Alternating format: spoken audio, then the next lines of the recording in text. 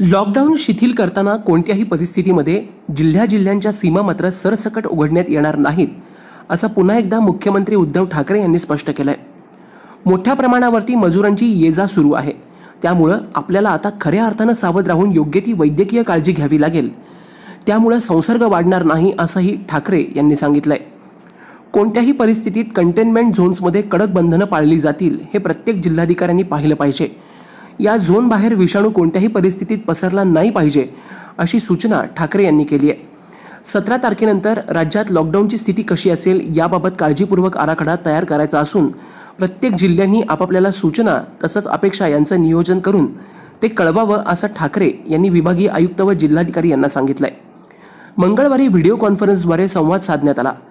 पावसाळा लवकरच येत असून त्यातही साथीचे व इतर रोग पसरतात कोरोना संकटाशी लढताना या रोगांचाही मुकाबला करावा लागेल. त्या दृष्टीनं जिल्ह्यातील विशेषतः खाजगी डॉक्टर्सना ते नियमितरित्या आपल्या सेवा सुरू करतील हे पाहावं असंही ठाकरेंनी सांगितलं. आपण एप्रिलमध्ये संसर्ग रोखण्यात यशस्वी ठरलो आहोत. आता मे महिन्यात कोरोनाची मोठी संख्या पाहायला मिळेल असा अंदाज व्यक्त करण्यात आला आहे आपल्याला कोरोनाची साखळी तोडायची आहे. मात्र येत्या पावसाळ्यात विविध रोग येतील.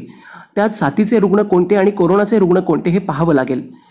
या दृष्टीनं वैद्यकीय यंत्रणा तयारीत ठेवावी लागेल आणि खाजगी डॉक्टर्सही तयार ठेवावे लागतील असंही मुख्यमंत्री म्हणाले. राजधानी एक्सप्रेसची सेवा सुरू करण्यात आली आहे. मात्र दिल्लीहून मुंबईला रेल्वे सुरू होत आहेत.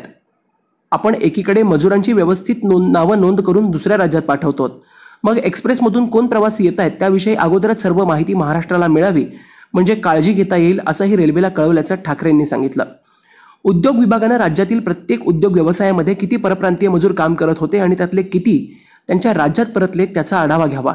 एकीकडे उद्योग सुरू होताना कामगारांची कमतरता किती जाणवतीये हे पहा आणि मगच स्थानिकांमधून उपलब्ध करून द्या अशी सूचना देखील उद्धव ठाकरेंनी केली आहे ब्युरो रिपोर्ट तिचा जागर न्यूज.